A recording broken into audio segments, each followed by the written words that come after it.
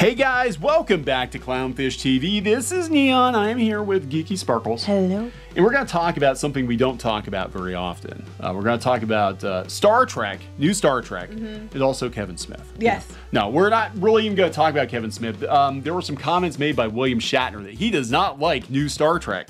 And they were made on Kevin Smith's panel at San Diego Comic Con. Oh, how dare he? How dare he?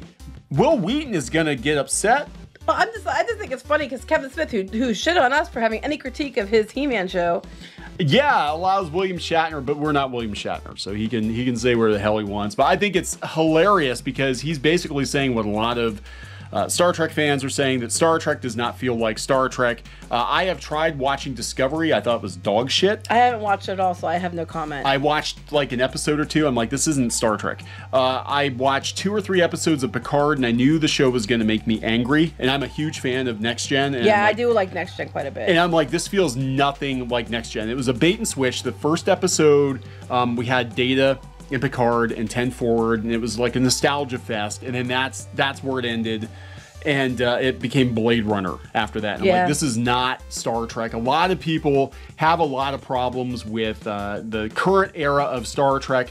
Um, and we'll talk about Strange New Worlds too, because apparently that one is winning people back. Um, I've heard mixed things. I've heard some people said it was just as bad as Discovery. Other people said it's actually pretty good and it's kind of a return to form for Star Trek. And we'll talk about the Orville because the Orville is uh, significantly better than actual Star Trek. Before we get into it any further, please subscribe for more pop culture news, views, and rants, guys. Over 273,000 subs. Uh, please hit the subscribe button, like and subscribe. You know, YouTuber begging. That's what we do here. Beg, beg, beg. Um, William Shatner sounds off on Star Wars and Star Trek. So he he he said Star Wars is shit too yes, well, we all agree on that. uh, during a lively Comic Con appearance. Now this is a guy who's what 90 and he's been to 91 space. or something? Yeah, so he doesn't give a shit. Now he's yeah. he was on Kevin Smith's panel because uh, he's going to be in the new season of Kevin Smith's He-Man, which I'm not going to watch. I don't give Well, a okay, shit. now here's the thing. If if if he holds true to his word, and and I think he might have gotten, I think he got his ass smacked enough last time that he might have learned some things. He's too much of an arrogant prick to admit he learned some things, but I'm sure he got learned on some things. So if he can actually deliver a He-Man show that actually is good, I mean, and, and sticks true to He-Man, the He-Man Skeletor, not the Teela show, not the Evil Lynn show, not the Battle Boner Skeletor show. um, then you know if it's good i'll say so and i'll say hey this is a good show if it sucks i'll say that too Uh, yeah, I'm not watching it.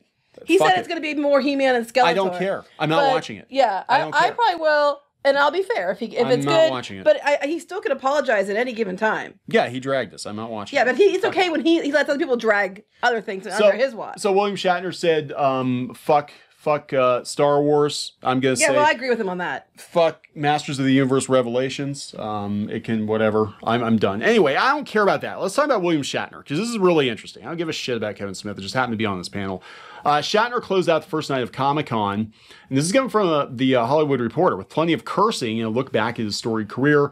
An hour long chat with uh, Kevin Smith, the 91 year old actor, talked about aging, space travel, and his place in the pop culture subconsciousness. Shatner's age was a running joke throughout the panel, with the actor quipping he could die at any moment during the panel. None of us really want that, but that would be incredible, Smith joked. Oh my God. Seriously? Uh, throughout, throughout the Shatner on Shatner panel, um, presented by the fandom focused company Legion Legion M. the icon fluctuated between, as he put it, serious and fun topics. And he talked about Kirk. When asked to address fans of other major sci-fi franchises, he said, "Fuck Star Wars." But not Mark Hamill. Because Mark Hamill obviously is in He Man. Again, we love Mark Hamill. Uh, when asked by a fan if there were any new Star Trek series he thought rivaled his own, Shatner replied, None of them. yeah, well a lot of people agree with you I got to know creator Gene Roddenberry in three years fairly well. He'd be turning in his grave at some of this stuff. turning in his grave. That had to be an awkward conversation, especially if Wil Wheaton was in the audience. He would just be like, "No, It's oh, the bigot, best." Yeah, bigot, bigot. bigot." Yeah, because he's like, man, you know, lower lower Decks is like the best thing ever. At another point, he gave a fan a hard time for wearing a mask because the actor could not hear the man's question. Mask wearing is strictly enforced this year at Comic Con, the first since the coronavirus shuttered the convention for three Which years. is probably why they don't have as much crowds. Probably. Uh, not only did I not understand what he's talking about, but I don't understand who he's talking to, said Shatner after several attempts at asking the fan to take it off. So it's probably like freaking Kenny from South Park, like, blah, blah, blah, blah, blah, blah, blah. What the hell are you talking about? Shut up, you big and so. And so. Uh, Shatner talked about his trip to outer space. Yeah, Twitter tried to cancel him. Tried to cancel him for going to space. Like, did you go to space? I don't think George Takei was at this panel either. I don't think he was. No, I doubt it. Uh, Shatner said our own plan is where we're truly meant to be. Uh, it's the only fucking planet we've got. Well, that's true. We can always build another one. It can No, transform not into a soon. giant robot and eat other planets. That'd be kind of cool. Uh, anyway, I think it's it's pretty awesome that he flat out said that uh, Roddenberry would be turning in his grave at some of this stuff.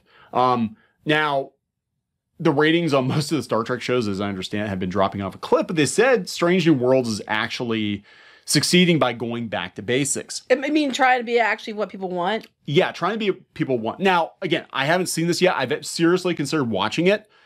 Um, and I've heard mixed things. I've heard some people said no, it's just as bad, just as cringy as Discovery. It's just it's it's um tonally a little more like classic Trek, but there's still a lot of that shit in there. Other people said no, it's actually a pretty straightforward Star Trek show. It's not uh, as quote unquote woke as the other shows. They're not trying to reinvent the wheel. They're just trying to you know have a throwback to that. So I don't know yet. Again, I haven't seen it. Now, what's interesting is uh, if Shatner would watch the Orville over over uh, uh, actual Star Trek. Yeah, well, the Orville's actually really good. So well, okay. I so- haven't seen the third season though. yeah, I'm so hearing there's a, a complete uh, removal from the rest of the show. um, I that- don't know. I haven't I haven't seen it yet, so I that can't would be say. the the Disney era. Yeah, so we're trying to play catch up on the Orville. I actually gave up on the Orville after the first couple episodes when it aired originally because I'm like, this is too jokey, and I'm like, it's kind of dumb. And then as we started watching, people were like, no, give it another chance. So we started watching it, and actually our, our son was like, no, watch the Orville. Mm-hmm. It's actually really good. And we started watching it. I'm like, oh my god, this feels more like next general Mm-hmm. like uh, Deep Space Nine than anything that that Paramount Plus is doing. And you know, it's weird. We've actually got actual Star Trek people working on the show. yes.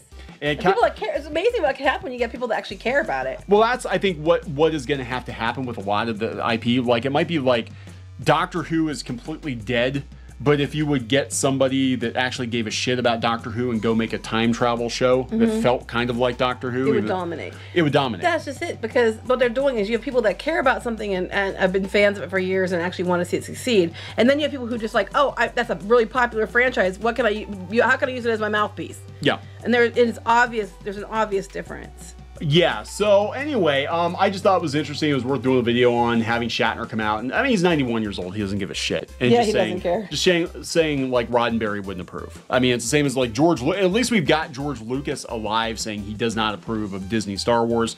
Uh, they keep trying to bury that, but he has Mm-hmm. said on multiple occasions it's not his Star Wars. It's just not. That's not the story he wanted to tell. It's not what he would have done. And everybody's like, "Oh, shut up, you old geezer. We own it now." yeah. Yeah. So we're gonna wrap it up. Yep. Uh, please subscribe for more pop culture news, views, and rants, guys. We'll talk later. Bye.